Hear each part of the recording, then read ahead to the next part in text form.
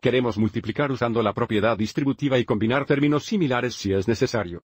La propiedad distributiva se da aquí a continuación, donde si tenemos a veces la cantidad de más o menos C, distribuimos A, lo que significa que tendremos a veces B, más o menos a veces C. Mirando nuestro primer ejemplo tenemos nueve veces la cantidad negativa 7x menos 5. Entonces, para multiplicar queremos distribuir 9.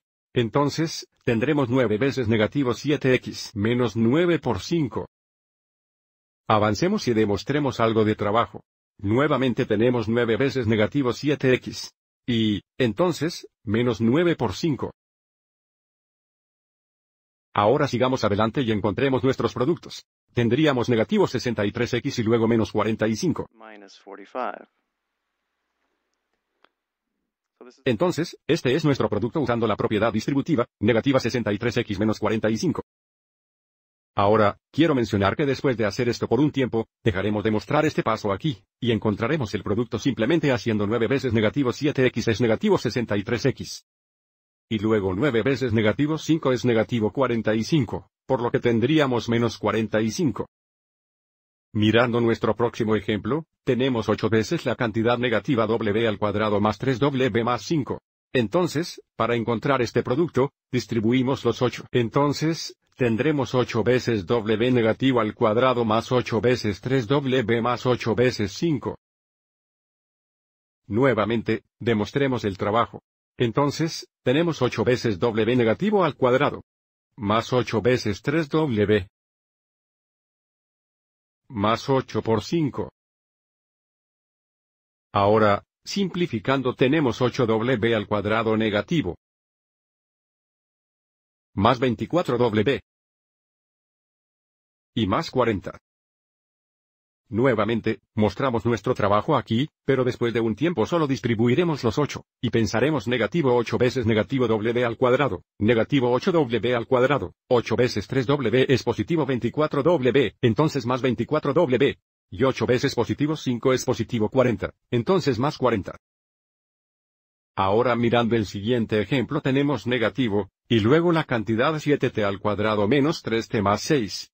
Puedes pensar en esto de dos maneras. Podríamos tomar lo contrario de este trinomio. Pero si desea distribuir podemos pensar en distribuir uno negativo. Avancemos y distribuyamos uno negativo. Entonces, nuevamente tendríamos negativo una vez 7t al cuadrado, menos negativo una vez 3t más negativo 1 veces positivo 6.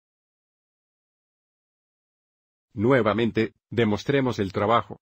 Entonces, tendríamos negativo una vez 7t al cuadrado. Ahora, Aquí tenemos menos y luego negativo una vez 3t.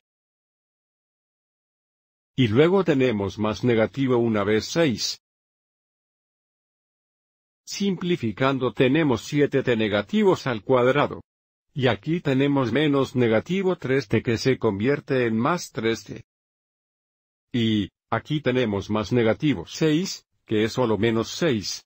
O si nos sentimos cómodos sin mostrar tanto trabajo, si distribuimos uno negativo, tendremos negativo una vez 7t al cuadrado, eso es negativo 7t al cuadrado. Ahora, para el siguiente producto, si pensamos negativo una vez negativo 3t, que es positivo 3t, tenemos más 3t. Entonces nuestra última parte es negativa una vez positiva 6, que es negativa 6, entonces escribimos menos 6. Entonces, una vez que nos sentimos cómodos de no mostrar este trabajo, podemos encontrar estos productos mucho más rápido.